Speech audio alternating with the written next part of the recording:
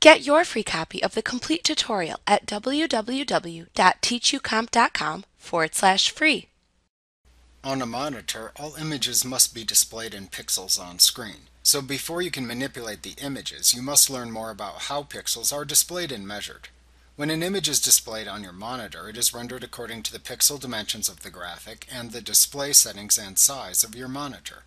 The image's pixel dimensions are the width and height of the image in pixels. The number of pixels displayed in an image is measured in pixels per inch or ppi. Generally speaking, the higher the ppi, the higher the quality of the image. The digital size of an image, usually measured in kilobytes, megabytes, or gigabytes, is proportional to the pixel dimensions of an image. Images with a higher PPI may have a higher resolution and may produce greater detail when printed, but they may also print more slowly and take more disk space for storage. The photo editor supports a maximum pixel dimension of 30,000 by 30,000 pixels per image. You can make adjustments to the size of an image by using the Image Size dialog box. To access this dialog box, choose Image, Resize, Image Size from the menu bar. The current pixel dimensions of the image appear in the Pixel Dimensions section. In either the Pixel Dimensions or Document Size sections, enter the desired height and width into the height and width text boxes shown. Then use the adjacent drop-downs to select the units of measurement for the values that you entered.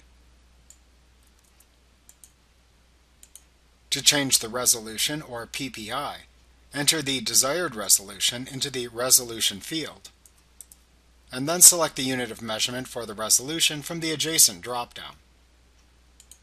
If you want to resample the image when resizing it, check the Resample Image checkbox. Then use the Adjacent drop-down to select the method of resampling to apply.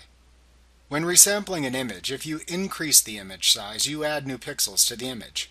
These new pixels will be added based on the color values of existing pixels in the image. You can generally resample down and not lose image quality. However, resampling up or adding pixels often results in an image that is a bit blurry.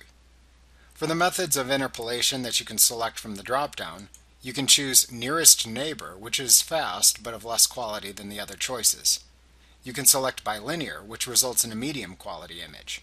Use bicubic, which is the default, for a slow but more precise resampling method.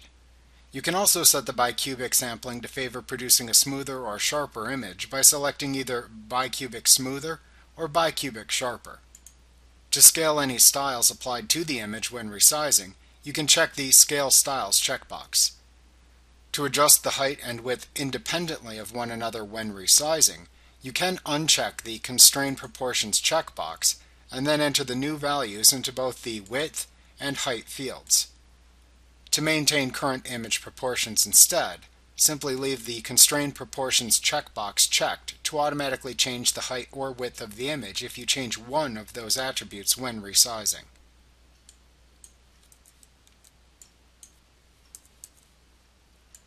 When you have set your image size options as you wish, click the OK button.